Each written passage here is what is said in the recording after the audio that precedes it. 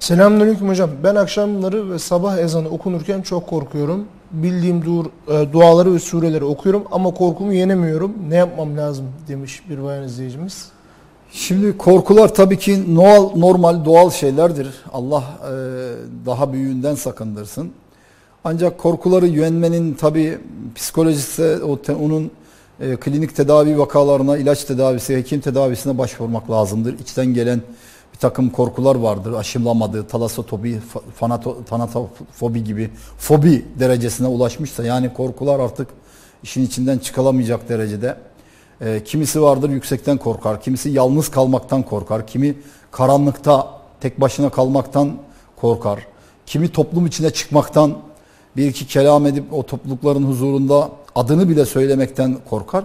Bunlar tabi e, olacak olan şeylerdir ama aşılabilecek de şeylerdir bir takım tedavi yöntemleriyle.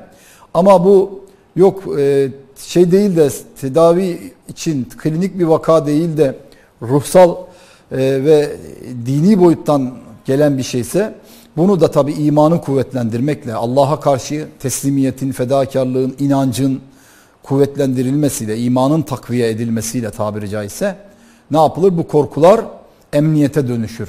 Bir de Rabbimiz korkulardan emniyetimizi bütün dahili ve harici yani korktuğunuz şey ne? Korktuğun şey bir kara böcek olabilir. Korktuğun şey bir işte haşerat olabilir. Korktuğun şey çok büyük bir bela düşman olabilir. Ama yani herkesin korkusu kendi içindeki yaşadığı o dereceye göredir.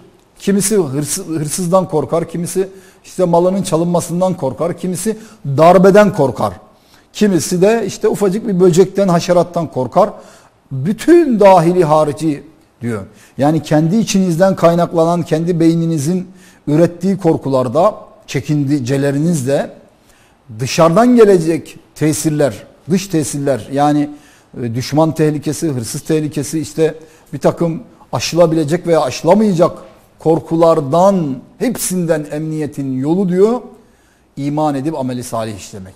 İman ederseniz, ameli salih işlerseniz dahili ve harici korktuğunuz şeylerden, korkularınızın tamamından sizi güvene, emniyete çıkaracak olan benim diyor Rabbimiz Ahzab suresinde. O yüzden e, onun huzurundayız, onun dergahındayız, onun arzındayız. Ona sığınmaktan işte e, başka çaremiz yoktur. Rabbim bu kardeşimizi de her türlü korkularından emniyete tebdil eylesin inşallah.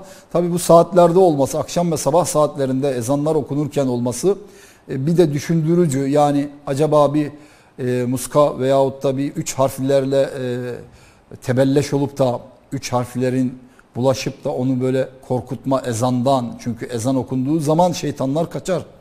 Akşam saatlerinde ve sabah saatlerinde ise bunların dağılma ve insanları yeryüzünde dağılıp da insanları ifsad ettirme saatleridir. Bir takım merasimlerine, düğün derneklerine gitme e, saatleridir. O yüzden de bu saatlerde olması düşündürücü. O konuyu da gene dikkate alıp e, okunacak şeyleri yani Felak, Nas, Ayetel Kürsi, üç ihlas işte e, nazara karşı dualar gibi şeyleri de okursa kendine üzerine üflerse inşallah daha da bir kendini iyi hissedecektir.